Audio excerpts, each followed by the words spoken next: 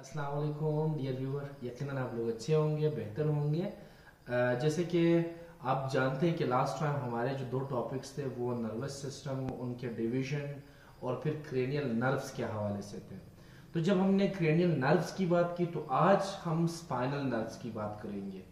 तो सबसे पहली बात यह है कि हमने नर्वस सिस्टम की डिवीज़न की बात की।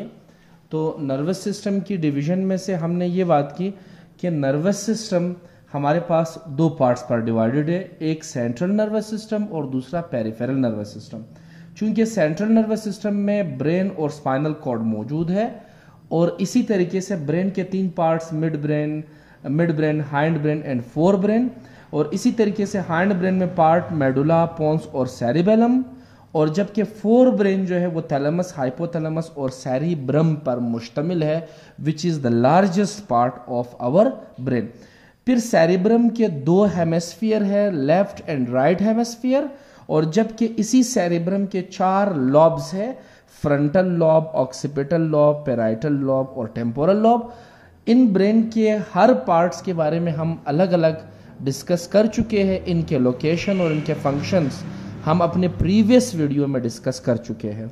इसी तरह हमने पेरिफेरल नर्वस सिस्टम को भी डिस्कस कर दिया कि पेरिफेरल नर्वस सिस्टम भी दो पार्ट्स पर मुश्तमिल है, एक सोमैटिक नर्वस सिस्टम और दूसरा autonomic nervous system somatic nervous system यानी कि जो कि वॉलंट्री एक्शंस को कंट्रोल करने वाला पार्ट था और autonomic nervous system involuntary actions को कंट्रोल करने वाला था, जो कि ऑटोनॉमिक जो नर्वस सिस्टम है, ये ऑटोमेटिक है इनवॉलंट्री एक्शन है, जिसमें सिंपैथेटिक या पैरासिम्पैथेटिक नर्वस सिस्टम आते हैं। तो sympathetic nervous system fight and flight mood को कहा जाता है, जबकि parasympathetic nervous system rest and digest mood को कहा जाता है, जिसके बारे में हम अपने प्रीवियस वीडियो में डिस्कस कर चुके हैं।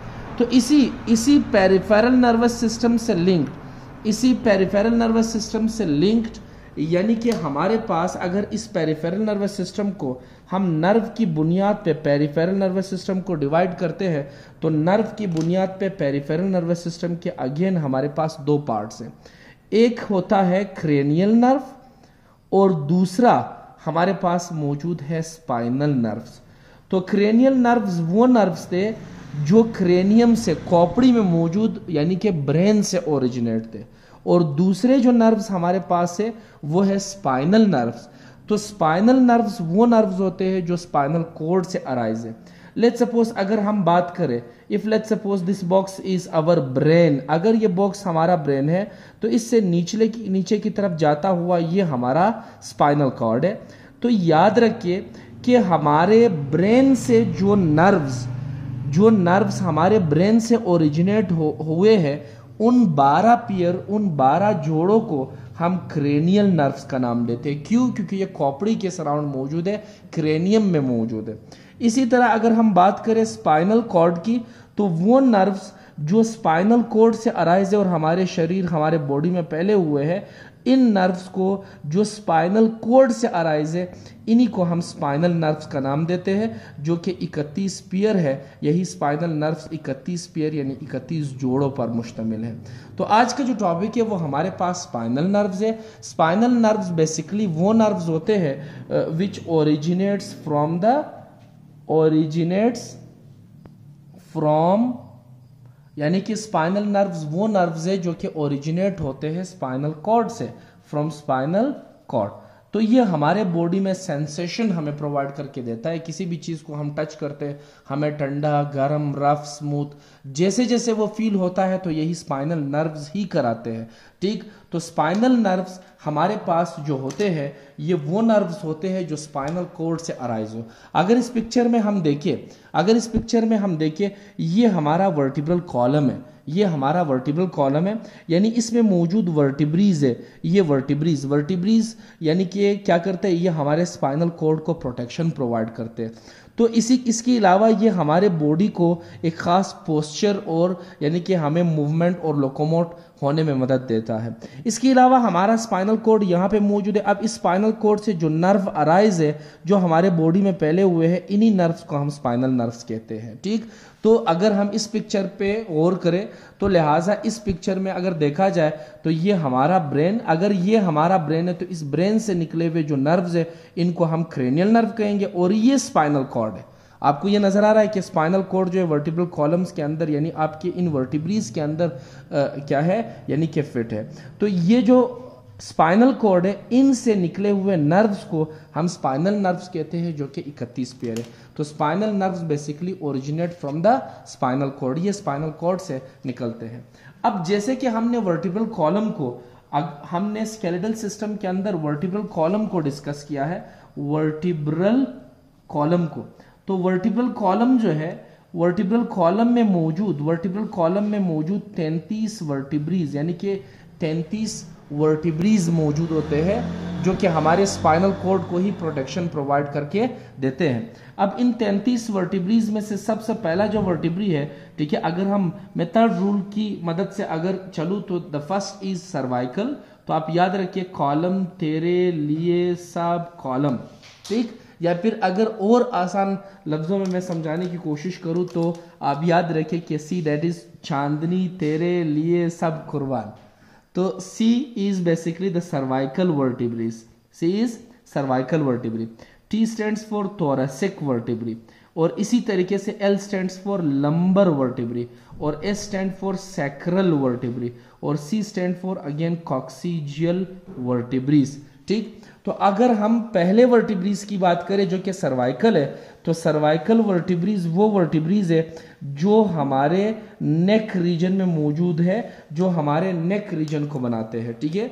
तो लिहाजा सर्वाइकल जो वर्टिब्रीज है, अगर हम इस पिक्चर पे गौर कर दें तो ये देखिए हमारे नेक रीजन में मौजूद ये जो वर्टिब्रीज है, जो कि हमें येलो कलर में नज़र आ रहा है these are the cervical vertebrae ये हमारे नेक रीजन को बना रहा है। तो सर्वाइकल वर्टिब्रीज है अब इस सर्वाइकल वर्टिब्रीज के पार्ट पे जो, यानी कि स्पाइनल कोड पाया जाता है this is now the spinal cord ये स्पाइनल कोड तो इस स्पाइनल कोड को जो इसी के अंदर जाके प्रोटेक्टेड है तो इसी स्पाइनल कोड को हम, यानी सर्वाइकल स्पाइन कहेंगे, या अमूमन इसमें से निकले हुए जितने भी स्पाइनल नर्व्स जो सर्वाइकल रीजन में मौजूद है, उन्हें हम सर्वाइकल नर्व कहेंगे। और जो इसी सर्वाइकल रीजन में वर्टिब्रीज मौजूद है, उनको हम सर्वाइकल वर्टिब्रीज का नाम देंगे। यानी इन्हीं वर्टिब्रीज के लोकेशन की वजह से ही हम उन नर्व्स को वही नाम देते हैं। तो ये सर्वाइकल वर्टिब्री, यहाँ पे जो स्पाइनल कोड का पार्ट मौजूद है और यहाँ से जो नर्व्स ओरिजिनेट है, उन्हीं को हम सर्वाइकल नर्व ही कहेंगे और यही सर्वाइकल स्पाइन है। यानी स्पाइनल कोड जो इसी सर्वाइकल रीजन में मौजूद है, वो सर्वाइकल स्पाइन। इसके बाद अगर हम इस, यानी कि ब्लू कलर की बात करें तो ये वर्टिब्रीज है, ये वर्टिब्रीज है। तो ये वर्टिब्रीज बारह वर्टिब्रीज है जो कि थोरासिक रीजन है, थोरासिक वर्टिब्रीज है। अब इस तोरासिक वर्टिब्रीज में जो स्पाइन मौजूद होगा, वो तोरासिक स्पाइन होगा तोरासिक स्पाइन और इसी तोरासिक स्पाइन से जो नर्व्स ओरिजिनेट है, उनको हम तोरसिक नर्व कहेंगे तोरसिक नर्व इसी तरह अगर हम तोरसिक रीजन से नीचे की तरफ़ आते हैं तो यहाँ पे मौजूद जो वर्टिब्रीज है, यहाँ पे मौजूद जो वर्टिब्रीज है, ये लंबर वर्टिब्रीज है. अब लंबर वर्टिब्रीज के रीजन में जो स्पाइनल कोड का पार्ट मौजूद होगा, उनको यानी कि लंबर स्पाइन कहेंगे, और लंबर स्पाइन से जो नर्व्स निकलते हैं, उनको हम लंबर यानी कि नर्व्स का नाम देंगे। इसी तरीके से ये सर्वाइकल वर्टिब्रीज है तो ये सर्वाइकल स्पाइन और इसी तरीके से ये सैक्रल सैक्रल वर्टिब्री है तो लंबर वर्टिब्रीज के बाद ये सैक्रल वर्टिब्रीज है। तो सैक्रल वर्टिब्रीज में जो स्पाइन मौजूद होगा, वो सैक्रल स्पाइन होगा, और इसी नर्व्स को हम सैक्रल नर्व्स का नाम देंगे। चूँकि ये फ्यूज तीन वर्टिब्रीज जो चार वर्टिब्रीज फाइनली यहाँ पे फ्यूज हमें नज़र आ रहे हैं, ठीक? तो ये ये वर्टिब्रीज बेसिकली क्या है? These are these four vertebrae are the coccygeal vertebrae और इस रीजन में जो नर्व मौजूद होगा that would be the coccygeal spine और कॉक्सीजल नर्व तो लिहाजा इसी इसी, यानी कि वर्टिब्रल कॉलम के बेस पे हम स्पाइनल नर्व्स को नाम देते जाएँगे। तो यहाँ सबसे पहले अगर हम वर्टिब्रीज की बात करते हैं तो ये cervical vertebrae then the thoracic vertebrae then the lumbar vertebrae then the sacral vertebrae और फिर हमारे पास है कॉक्सीजियल वर्टिब्रीज तो अगर हम बात करें सर्वाइकल की तो यहाँ पे जो नर्व मौजूद होते हैं, वो है सर्वाइकल नर्व इसी नाम पे हम नाम देंगे सर्वाइकल नर्व और वहाँ पे सर्वाइकल वर्टिब्रीज थे। इसी तरह अगर हम बात करें, ठीक है अबाउट द थोरसिक तो यहाँ पे जो तोरसिक वर्टिब्री है, इसी रीजन में मौजूद तोरसिक नर्व्स होंगे। तो लिहाजा जो थोरेसिक नर्व है इसी तरह, इसी थोरसिक वर्टिब्रीज के आस, यानी नर्व पाए जाते तो थोरसिक वर्टिब्रीज के रीजन में थोरसिक नर्व पाए जाते इसी तरह, जहाँ पे लंबर वर्टिब्रीज है तो वहाँ पे लंबर नर्व मौजूद है। ठीक है? लंबर नर्व मौजूद है। इसी तरह, जहाँ पे सैक्रल वर्टिब्रीज मौजूद है, वहाँ पे सैक्रल नर्व मौजूद है। इसी तरह, जहाँ पे कॉक्सीजल वर्टिब्रीज मौजूद है, वहाँ पे कॉक्सीजियल नर्व मौजूद है। अगर हम इनके यानी कि क्वांटिटी या इनके तादाद की अगर हम बात करते हैं तो वर्टिब्रल कॉलम तैंतीस है, जबकि वर्टिब्रल कॉलम में मौजूद जो स्पाइनल नर्व्स है, वो इकतीस पियर है, इकतीस जोड़े हैं। तो वो कैसे इकतीस है? सबसे पहले अगर हम इन वर्टिब्रीज की बात करते हैं तो हमारे पास सात सर्वाइकल वर्टिब्रीज है। सात सर्वाइकल वर्टिब्रीज है, बारह तोरसिक वर्टिब्रीज है, पाँच लंबर वर्टिब्रीज है, पाँच सेक्रल वर्टिब्रीज है और पाँच, चार कॉक्सीजल चार फोर कॉक्सीजल वर्टिब्रीज है। लेकिन अब सात सर्वाइकल नर्व्स जो सात सर्वाइकल वर्टिब्रीज है, इन्हीं रीजन पे आठ, यानी कि सर्वाइकल नर्व मौजूद है। बारह तोरसिक वर्टिब्रीज है और बारह तोरसिक नर्व मौजूद है। पाँच लंबर वर्टिब्रीज है तो पाँच लंबर नर्व मौजूद है। पाँच सेक्रल वर्टिब्रीज है तो पाँच, यानी कि सेक्रल नर्व है चूँकि चार कॉक्सीजियल वर्टिब्रीज है और एक कॉक्सीजियल नर्व है, क्योंकि ये जो चार वर्टिब्रीज है, हमने पिक्चर में देखा कि एक दूसरे के साथ फ्यूज्ड स्ट्रक्चर में है। तो लिहाजा इन कॉक्सीजल रीजन के जो यानी कि वर्टिब्रीज मौजूद है, ये एक दूसरे के साथ फ्यूज्ड है। तो इनको सिर्फ़ एक नर्व सप्लाई करता है, जो कि कॉक्सीजल नर्व कहलाया जाएगा। तो हमारे पास टोटल 31 पेयर 31 जोड़े हैं स्पाइनल नर्व्स के। ठीक है, जबकि हमारे पास 33 यानी कि वर्टिब्रीज है, जो कि हमारे वर्टिब्रल कॉलम में पाए जाते हैं। और इन्हीं नर्व्स को बेसिकली हम स्पाइनल नर्व्स का नाम देते हैं, क्योंकि ये स्पाइनल नर्व्स जो है, ये स्पाइनल कोड से ओरिजिनेट है। जैसे कि लास्ट टाइम हमने बात की क्रेनियल नर्व्स की तो क्रेनियल नर्व्स क्रेनियम से ओरिजिनेट थे, जो कि 12 पियर की सूरत में 12 जोड़ों की सूरत में मौजूद थे। अब उन क्रेनियल नर्व्स में, यानी आपका जो ओल्फैक्ट्री नर्व था सेंस ऑफ़ स्मेलिंग के लिए रिस्पॉन्सिबल था। यानी कि आपका ऑप्टिक नर्व था विजन के लिए रिस्पॉन्सिबल था। तो इसी तरीके से हमारे वो जो नर्व थे, वो हमारे फेशियल रीजन और हमारे नेक और स्कल रीजन में मौजूद थे। लेकिन ये जो नर्व है, ये हमारे स्पाइनल कॉर्ड से निकले हुए वर्टिब्रल कॉलम से और हमारे पूरी बॉडी में फैले हुए। जिस ऑब्जेक्ट को हम टच करते हैं तो हमें कोल्ड हमें होट उसकी सेंसेशन स्पाइनल कोड तक जाती है और स्पाइनल कोड से वो सेंसेशन हमारे ब्रेन तक जाता है। यानी एक लिहाज से अगर देखा जाए, यही नर्व्स हमारे बॉडी को स्पाइनल कोड के साथ कनेक्शन प्रोवाइड करके देता है।